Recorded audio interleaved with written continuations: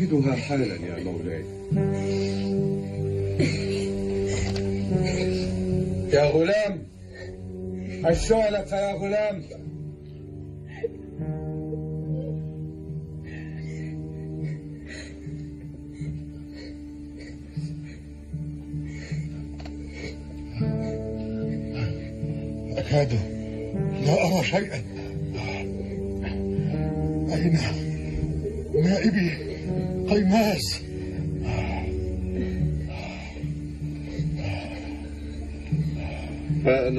طوع أمرك ورهن إشارتك يا مولاي قيماس أيها الرجل الأمين.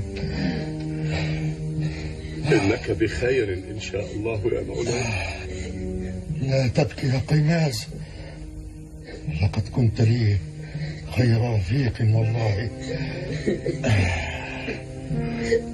مولاي لقد علمتنا وربيتنا ولن ننسى أفضالك أبدا. اسمع يا قيماز إليك وصيتي الأخيرة سأعلنها لك أمام ابن نافع وفخر الدين. والله على ما أقول شهيد. الموت على الناس حق.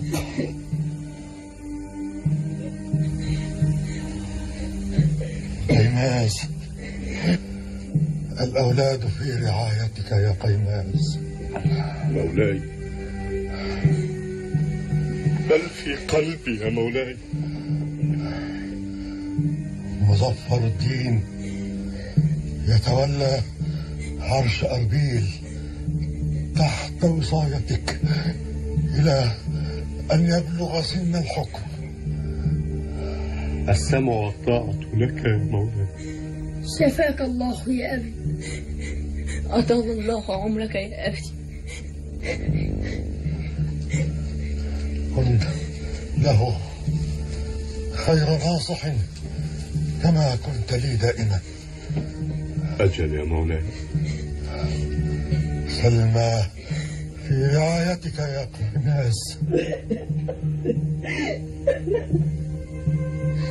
يوسف في رعايتك. بل في قلبي يا مولاي.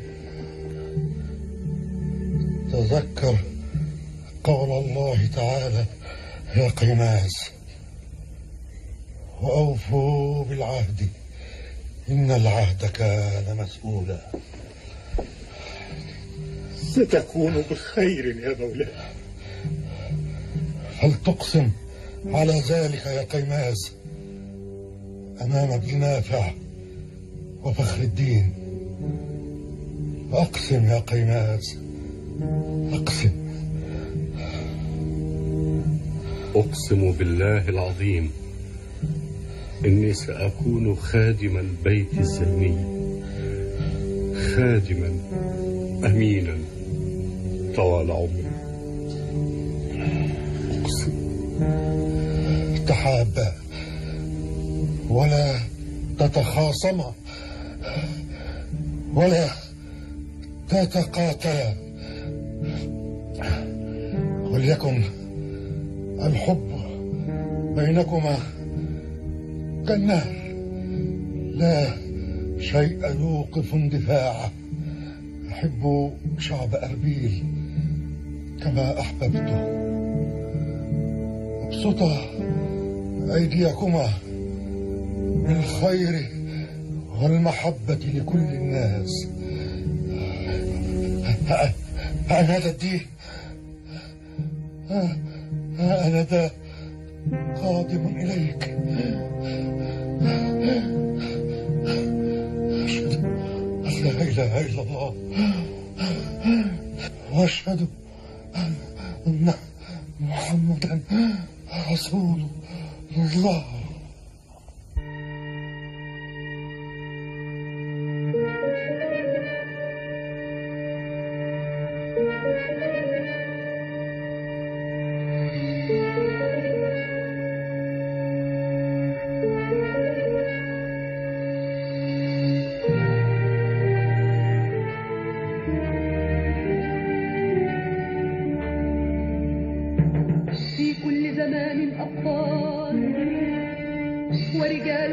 أمثال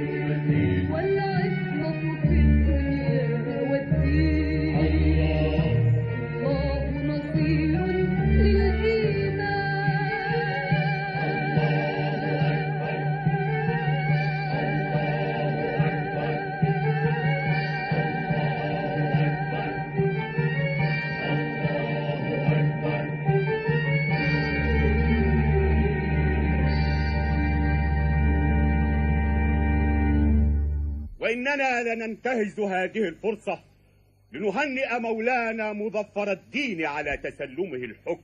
وفقه الله ورعاه. قولوا معي حفظ الله أميرنا مظفر الدين. حفظ الله أميرنا مظفر الدين؟ حفظ الله أميرنا مظفر الدين. مظفر الدين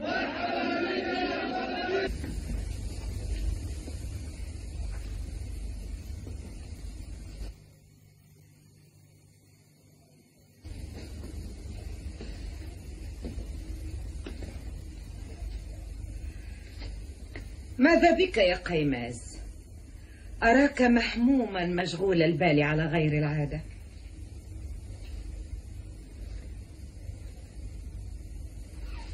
لا شيء يا خديجة لا شيء. لا شيء؟ أنا خديجة يا قيماز خديجة. أتظن أنني لا أعرفك عندما تكون محموما ومشغول البال في أمر ما. ماذا بك؟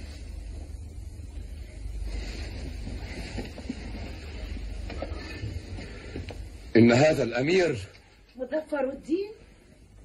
أجل. مظفر الدين. ماذا فعل مظفر الدين؟ فصل جميع القائمين بالعمل الذين عينتهم وعندما ناقشته في الأمر صاح وهاج وماج وصرخ في وجهي رفع صوته علي. اهدأ قليلا وقل لي ماذا قال لك بالضبط. قال أنا أمير أربيل ولست أنت وليس هذا من شأنك. وعندما ناقشته في أمر الضرائب التي رفعها عن الناس قال أنت لا تريد الناس أن تحبني. أنت تستحق هذا يا قيماز بل أكثر منه لأنك أنت الذي تركته على عرش أربيل وأضعت الفرصة من يدك عندما سنحت لك. نسيت يا خديجة أنني أقسمت لزين الدين وهو على فراش الموت على الولاء لأولاده من بعدي أقسمت أقسمت أقسمت. ألا تكف عن تذكيري دائما بهذا القسم يا رجل؟ خديجة ليس من شيم قيماز أن يحنث في يمين قطعه على نفسه قط. إذا فلا تشكو الأمير الصغير وتعنته معك مرة أخرى. خديجة اتركيني الآن يا خديجة ودعيني أفكر في الأمر. أما هذا الأمير الصغير فسأعرف كيف أؤدبه. سأتركك يا قيماز. ولكن تذكر دائما دائما أنك أنت الذي أضعت الفرصة الذهبية من يدك عندما وتتك صبرا يا مظفر الدين صبرا. الأيام بيننا. طبعا بأميرنا مظفر الدين. أرأيت يا مظفر حب شعب ربنا لك هنيئا لك يا ولدي بمحبة الناس؟ إن هذا الحب لم يأتي من فراغ يا أمي بل هو نابع من حبه لهم وهو أقرب الطرق إلى قلوبهم والوصول إلى الحكم الأمثل. أنت تعلم كم أحب هؤلاء الناس أباكم العظيم؟ لأنه حكمهم بالمحبة والعدل. وإني لماض على طريق أبي رحمة الله عليه. وسأكون دائما وإن شاء الله عند حسن ظنهم بوركت أيها الأمير. إننا نغبط شعب أربيل على محبته لك. شكرا لك يا ريحانة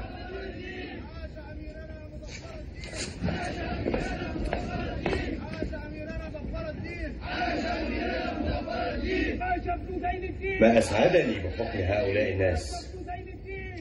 أرجو أن يعينني الله على إسعادهم. عاش الأمير مظفر الدين عاش الأمير مظفر الدين الخير والبركات على يد مظفر الدين عاش الأمير مظفر الدين عاش الأمير مظفر الدين الخير والبركات على يد مظفر الدين الخير والبركات مظفر الدين مظفر الدين عاش إنها ثورة وليس ابتهاجا إنها ثورة على طريقة ممارسة الحكم. ولكني يا جهاد الدين. كيف يجرؤ رئيس الشرطة على أن ينفذ الأمر دون الرجوع إليه استدعاني الأمير مظفر الدين وأصدر علي الأمر بعد توليته الحكم. ألا تعلم يا رئيس الشرطة أنه لا ينفذ أمر إلا بإجازته؟ أم تراك نسيت؟ هل أنت تابع لمظفر الدين أم تابع لي؟ نحن كلنا نتبع الأمير مظفر الدين. إذا اعتبر نفسك منذ الآن معزولا لكي تتعلم من الذي يحكم. أنا أم مظفر. أمرك يا سيدي. انتظر. انتظر يا برهان اسمع يا قيماس. اسمع. إن برهان رئيس الشرطة قد أخطأ هذه المرة. لأنه لم يحسن التصرف وله عذره أما الآن فقد أدرك من الآمر الناهي. إني إني آسف لما حدث يا سيدي. وقد يكون عذري أن الأمير مظفر الدين هو الذي دعاني إلى تنفيذ أوامره دون الرجوع إليكم. انصرف. انصرف الآن إلى عملك وليفعل الله ما يريد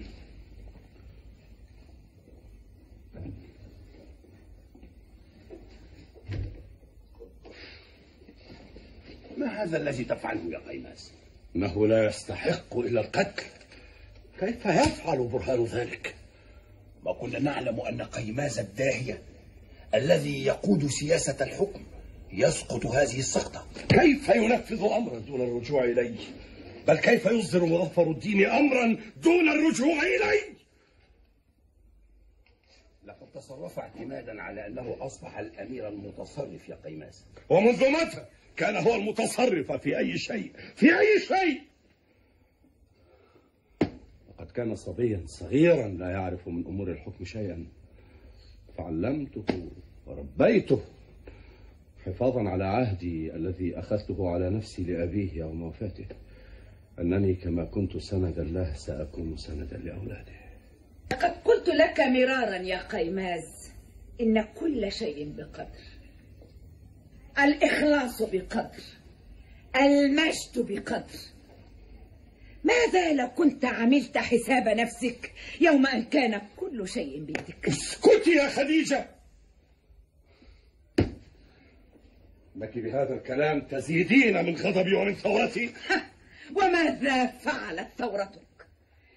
إن الشيء الوحيد الذي فعلت هو أنها جعلتني أخرج من منزلي حبا في مظفر الدين. خديجة ليس الآن. ليس الآن. إذا متى؟ متى؟ إن كل الناس في الشوارع كل أهل أربيل يهتفون لمظفر الدين. مظفر الدين وكأنهم لا يعلمون شيئا عن جهاد الدين قيماس وكأنه لم يحكمهم ولم يكن حريصا على حكمهم مع أن له أياد على هؤلاء الناس.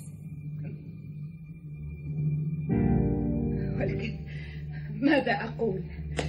هكذا حال الحكام عندما يتركون الحكم أو يتركهم الحكم. لك كل الحق يا خديجة ولكن علينا أن نبحث ما يجب عمله. أقصد في المفيد فالكلام لم يعد له مكان الآن. معك حق يا أخي إن الكلام لم يعد له مكان الآن. لقد أفلتت الفرصة. كلا لم ولن تفلت أي فرصة. اتركينا الآن يا خديجة أو اصمتي. لقد كان دائما يرفض الكلام معي عندما تجيء سيرة مظفر الدين أو الحكم والآن قد رأى بنفسه. من فينا المحق؟ من فينا المحق؟ من فينا المحق؟ نعم من فينا المحق؟ لم يعد اسم قيماز الآن يذكر في أي شيء. جهاد الدين قيماز. لم يعد يذكر في أي شيء. وقد كان كل شيء قيماز قيماز قيماز قيماز لم يعد يذكر إلا اسم مظفر الدين. مظفر الدين مظفر الدين مظفر الدين. فلما اشتد ساعده رماني. لذلك يجب علينا التصرف السريع. لقد منعتك من طرد برهان رئيس الشرطة ولم تسألني لماذا. لماذا؟ لأنك بدلا من أن تطرده لأنه خالف أوامرك وسمع أوامر مظفر الدين نجعله يخالف أوامر مظفر الدين نفسه فيطرده. هو يا لك من داهية يا علي الدين. لقد أعماك الإخلاص عن تبصر نفسك وتبصر مصلحتك ومصالح من معك. إن هؤلاء الناس جميعا من مصلحتهم أن تمسك أنت مقاليد الحكم. آه يا قيماز آه يا قيماز لو كنت سمعت النصيحة. آه أصبحنا لا ندري ماذا سيفعل غدا ولا متى يتوقف. لن يتوقف يا علي الدين لن يتوقف. لقد قلت لك يا قيماز إن كل شيء في يدك. الحكم في يدك. السلطة في يدك فانتهزها. ولكني كنت كمن يضرب في حديد بارد. خديجة إن هذا الأمير في غاية الدهاء. لأنه حينما يعزل رئيس بيت المال فإنه بذلك يوجه رسالة إلى كل من يخالف أوامره. وكل من يقف في وجهه سوف يلحقه برئيس بيت المال. لقد عزله لمجرد أنه اعترض على رفع المكوس إذا ففي وسعه أن يعزلني أنا الآخر. طبعا إن هذا ليس ببعيد. نعم إنه في وسعه أن يفعل أي شيء. وبالمناسبة إنك لم تذهب إليه منذ أكثر من أسبوع وهذا غير سليم. لأنني حزين لما يحدث.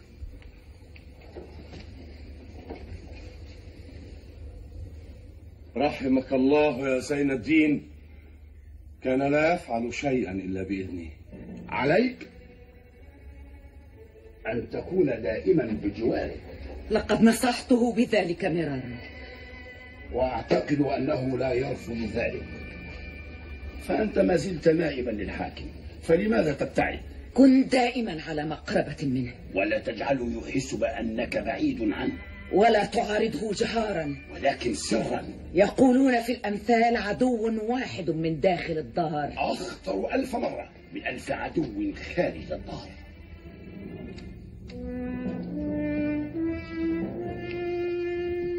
كبل هذا الأمير بدهائك قبل أن تنمو مخالبه ويطيح بالجميع.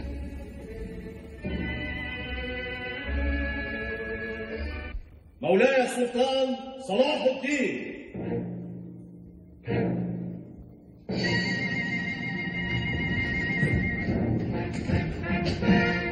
السلام عليكم ورحمة الله وبركاته.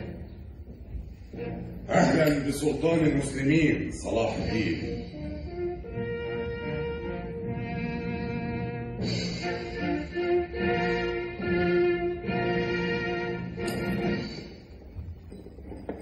معاهدة الصلح بين السلطان صلاح الدين وملوك وأمراء الفرنجة.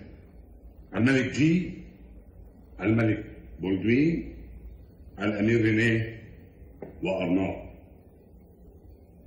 بسم الله الرحمن الرحيم. يا أهالي أربيل يا أهالي أربيل نعلنكم بأنه قد تم توقيع هدنة بين صلاح الدين والصليبيين لمدة أربع سنوات. يا أهالي أربيل نعلنكم بأنه قد تم توقيع هدنة بين صلاح الدين والصليبيين لمدة أربع سنوات. أيها الناس أيها الناس أيها الناس أيها الناس أيها الناس تم توقيع معاهدة الهدنة بين السلطان صلاح الدين والفرنجة. بارك الله في آمرنا صلاح الدين وأيده بنصر من عنده. أيها الناس. وهكذا يا أمير الجند علينا أن نجند كل القوى علينا أن نجند الكبير والصغير حتى نكون دائما تحت إمرة أمير الموصل الأمير غازي. ولكن إذا جندنا كبار السن فقد يقلل ذلك من قوة المجموعة لأنهم بطيء الحركة ويعيقون صغار السن عن التقدم. إن حبهم لأربيل والموصل سيجعلهم سريع الحركة.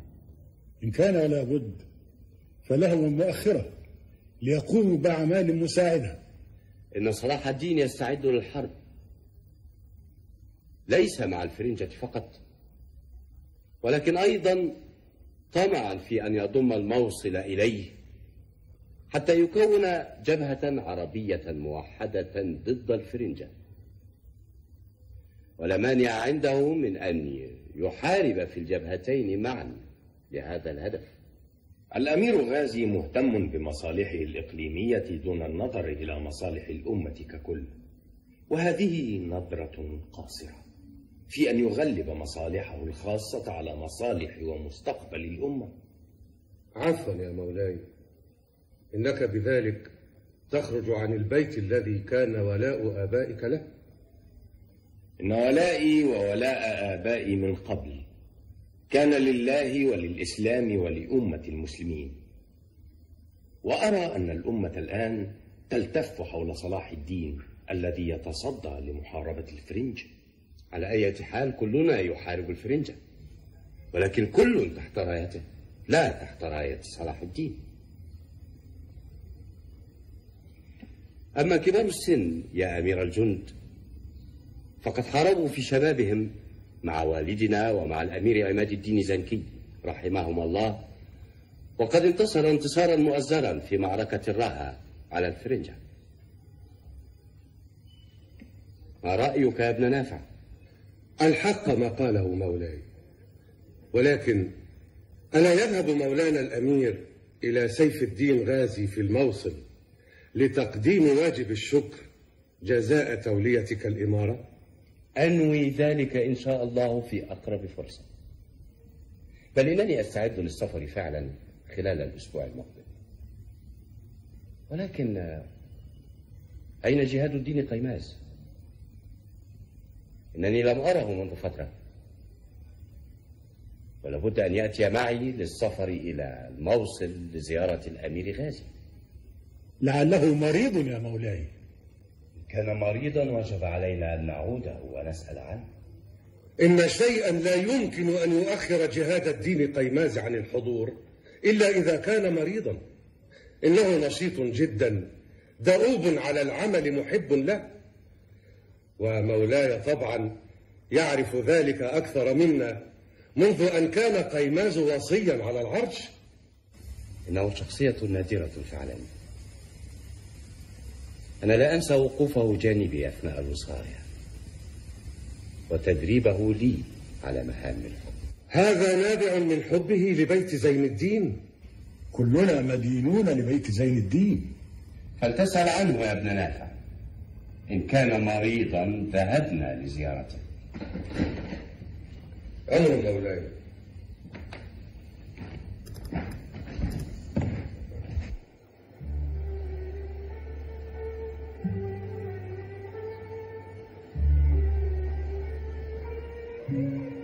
أمر على الديار ديار شمس. أقبل ذا الجدار وذا الجدار. إني غاضبة. لماذا يا شمس النهار وضوء الليل؟ أنت مخادع. تحبني وأنا أمامك. وعندما أغيب عنك لا تذكرني. أنت شمس لا تغيب يا شمس. إذا لماذا لم تسأل عني منذ مدة؟ أنا لم أسأل عنك. عشرون يوما مضت. لم تحاول أن تسأل عني. آه عشرون يوما قاسية مضت علي وكأنها عشرون عاما. كدت أشك في حبك لي. كيف؟ لأنك سافرت إلى عمتك في الموصل مع أبيك. دون أن تفكري في لحظة. وأنت كذلك. كنت منصرفا عني قبل سفري لدرجة أنني كنت أعتقد أنك لا تحبني. لا والله لم أنصرف عنك. ولكنك تعلمين أن مظفر الدين عندما تولى الولاية ومارس الحكم كان بحاجة إلي لأكون بجانبه. وهذا ما كان يمنعك من مقابلتي كثيرا؟ لا يا شمس لا شيء يمنعني عنك. لأني أعلم أنك تتمنين لمظفر الدين النجاح كما أتمناه أنا. نعم نعم. ولكني تأثرت منك وقلت في نفسي إن يوسف. لم يعد يميل إلي كيف يتطرق هذا الإحساس إلى نفسك؟ لأن المحب دائما يسأل عن محبوبه. يا حبيبتي يا شمس إنني أنتظر اليوم الذي يضمنا فيه منزلنا الجديد. كل ركن فيه سيقول إن يوسف يحب شمس. وهل عواطفك ستظل هكذا حتى بعد الزواج؟ ستبقى عواطفي كما هي. لأني أحبك. لأني سأكون لك وحدك. وأنا لك وحدك يا حبيبتي يا شمس. حتى إذا شغلتك مهام أخيك الأمير سأنتظرك بكل الحب أبقاك الله لي يا شمس. إذا من ذا الذي يحب الآخر أكثر؟ أنا؟ لا أنا. لا أنا أحبك أكثر. سيدتي شمس سيدتي شمس! لقد حضر سيدي الأمير فخر الدين.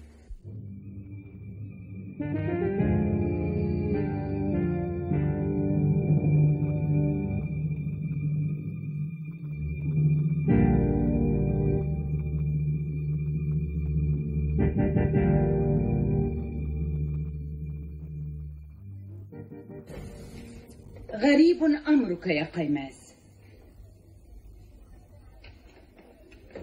مضى عليك أكثر من ثلاثة أيام وأنت لم تذق للنوم طعما أو الطعام. دعيني الآن يا خديجة فأنا حزين. حزين؟ يا لرقة شعورك يا رجل. كفي عن هذا يا خديجة. قيماز عهدتك لا تفوتك صغيرة أو كبيرة. وماذا فاتني يا صاحبة العقل والحكمة عرش أربيل أيها الوصي عرش أربيل ماذا تعني؟ أعني هل فكرت في عرش أربيل بعد موت الرجل العجوز؟ خديجة تعلمين أن الأمير مظفر الدين قد تولى حكم أربيل تحت وصايتي لأنه لم يبلغ سن الرشد بعد آه. تحت وصايتك. أجل تحت وصايتي. ماذا بك يا قيماز؟ ألم تفهم بعد ما أعني خديجة هل ستظلين تتحدثين إلي بمثل هذه الألغاز؟ قيماز مضى عليك وقت طويل وأنت تعمل نائبا لزين الدين في حكم أربيل. أجل؟ والآن؟ مات زين الدين وانتهى الأمر. وأنت الآن تعمل وصيا على هذا الشاب الصغير في حكم أربيل وماذا في ذلك؟ إن كنت لا تفهم ما أعني فأنا أعني أنك أقدر من يحكم أربيل بعد موت الأمير زين الدين كيف؟ هل تعنين أنني أنا نعم أعني أنه إذا تبين لأمير الموصل عدم مقدرة مظفر الدين على الحكم ف ويحك يا امرأة. أتدفعينني لأن أخون الرجل الذي قضيت حياتي في خدمته؟ مجرد وشاية صغيرة تنقل التاج من رأسه الصغير. إلى رأسك يا قيماز لا حول ولا قوة إلا بالله. لقد أقسمت على الإخلاص له ولأولاده من بعده. هذه فرصتك يا رجل. اغتنمها ولا تتردد. لا لا لا لا يا خديجة. لا. لن أخون زين الدين أبدا. لقد عاهدت ولم أنقض عهدا أخذته على نفسي. سيجيء اليوم. الذي تندم فيه على أنك لم تستمع إلى نصحي. صوت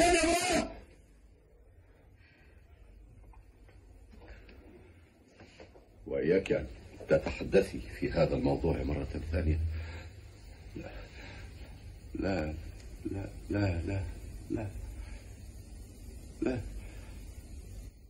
لا. سوف تثبت لك الأيام يا قيماس. صدق ظني.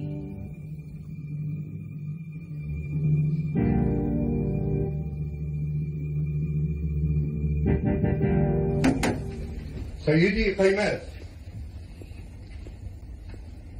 ماذا تريد؟ الشيخ ابن نافع بالباب.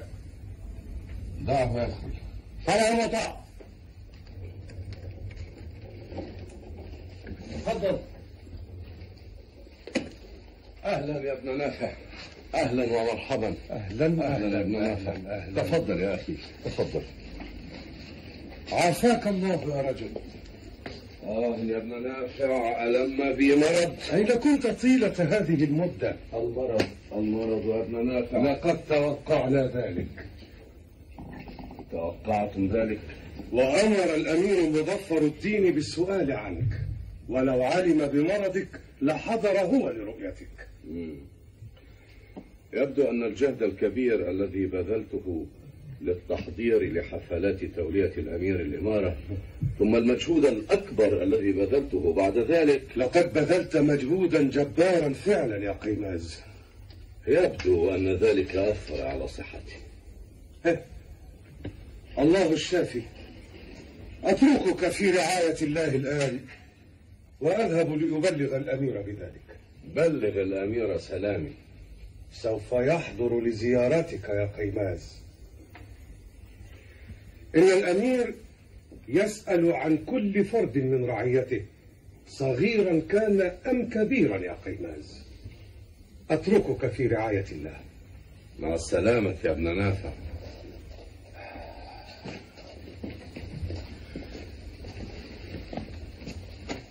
حمدا لله على سلامتك يا مولاي. شكرا شكرا. مع السلامة.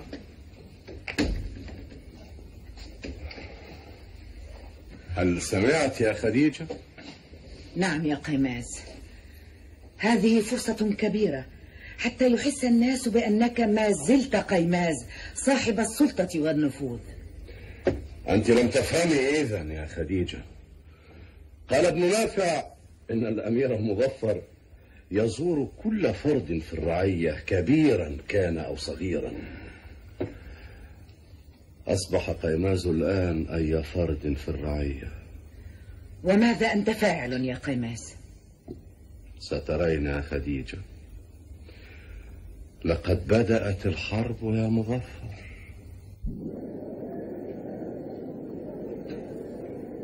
بارك الله لنا في هذا الأمير. انظر. انظر إلى الناس كم هم فرحون. إن زيارته لقيماز يذكرني بما كان يفعله والده الأمير زين الدين رحمه الله. ولقد سمعت من ابن نافع أنه يزور أي مريض في أرضه. إنني والله لفخور بأميرنا. وبعد عودته سوف ينظم جيشا ليشترك به مع الأمير غازي ضد الفرنجة. قال لي ذلك الأمير فخر الدين. وهل سيشترك مع الأمير صلاح الدين أم لا؟ يبدو أن الأمير غازي لا يريد أن يتحد مع صلاح الدين. لذلك فإن أرناط أبو الفرنجة يتربص في الكرك للقوافل الذاهبة إلى الشام والقادمة منها. سمعت أن أرناط يهدد السلطان صلاح الدين بالاستيلاء على كل القوافل التي تسافر بين مصر والشام. دائما أرناط هكذا لا يفي بوعده ولا يوثق بعهده إذا لماذا وقع معه صلاح الدين هدنة لأربع سنوات قادمة؟ ماذا يصنع صلاح الدين؟ منذ شهور مضت قابل صلاح الدين جنود الفرنجة في مخاضة الأحزان فهزموه أتدري لماذا هزموه؟ لأنهم كانوا الأقوى كانت يدهم فوق يده إذا كان الأمر كذلك فلابد أن يعمل على تقوية جيشه هذا هو ما يفعله الآن بالضبط ولكن بطريقة عملية. كيف؟ بدأ صلاح الدين في مهادنة الفرنجة لمدة قصيرة محددة. أربع سنوات لا تحسب في عمر التاريخ. ولكنها عظيمة القيمة بالنسبة له. في يقيني أن صلاح الدين وهو يوقع الهدنة مع أرناط كان يعلم تماما أن أرناط سيخرق هذه الهدنة بأي طريقة. لله در صلاح الدين. إنه لقائد عظيم. وفي هذه الأثناء يعمل صلاح الدين على جمع شمل الأمة الإسلامية.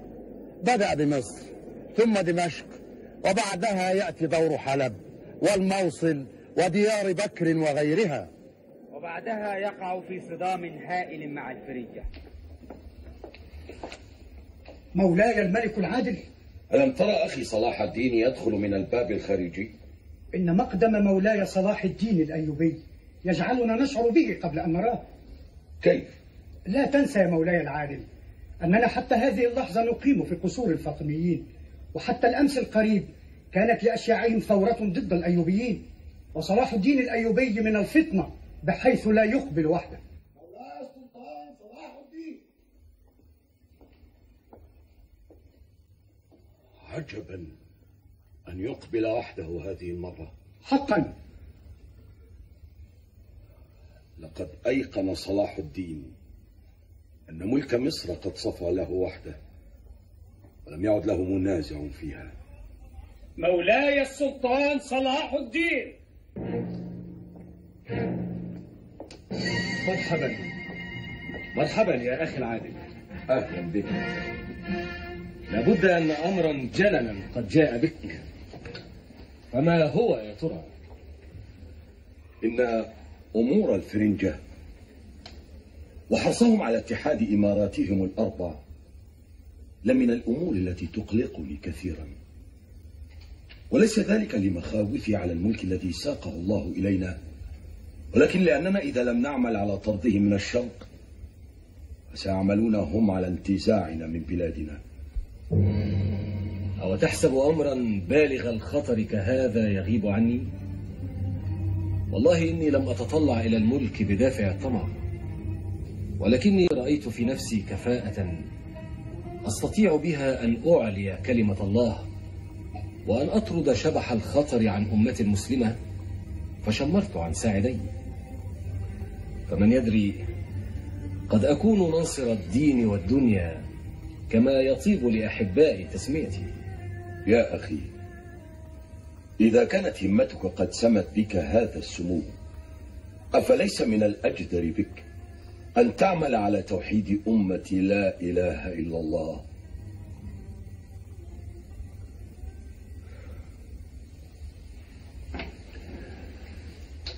إن هناك عقبة كؤودا أمامي وما هي؟ هناك في الموصل سيف الدين غازي سليل بيت آل زنكي وهم أصل نقمتنا أطماع الملك قد أعمت عينيه عن أن يضع يده في أيدينا وهو بهذه النظرة القاصرة يحول بيننا وبين الاتحاد. وهل سنتركه يمزق صف الأمة؟ ويقف عقبة في سبيل اتحادها. اسمع يا أخي العادل إن صلاح الدين الأيوبي رغم شدة وفائه ورقة مشاعره ونقاء دينه فإنه على أتم الاستعداد لأن يضحي بك وأنت أخوه بل وبأبنائه. في سبيل إعلاء كلمة الله. الأمير سيف الدين غازي أمير الموصل. وفي مواجهة هذا الصلح الذي عقده صلاح الدين مع الحلبيين أرى أنه دعم موقفه. ثم بدأ يتطلع إلينا في الموصل. أليس هذا ما يعنيه مولاي؟ بالضبط يا شرف الدين. ولا تنسى أن صلاح الدين قد هزم عسكرنا في تل السلطان وبوسعه أن يسهو بانتصاره علينا. مولاي وددت لو عرضت رأيا. تفضل يا شرف الدين. أعني يا مولاي لماذا لا نحذو حذو الحلبيين؟ ونعقد صلحا مع صلاح الدين؟ أجل هذا ما أعنيه أتراك تهذي يا شرف الدين؟ إنك قطعا لا تعي ما تقول. إنما أعني يا مولاي أن نشكل جبهة مع صلاح الدين لتقف في وجه الفرنجة كالبنيان المرصوص يشد بعضه بعضا. يا شرف الدين. إن هذا العرش قد أقامه جدي عماد الدين زنكي بعد كفاح عظيم وجهد متصل. أعلم ذلك يا مولاي وكل من في الموصل يعلم ذلك. ولكن وقوفنا مع صلاح الدين. إننا إذا انضممنا إلى صلاح الدين فسوف ينتهي كل شيء وتنتهي إمارة الموصل. كيف يا مولاي؟ كيف؟ سوف يذوب العرش الزنكي تحت راية صلاح الدين الذي كان مجرد جندي في جيش جدي عماد الدين زنكي.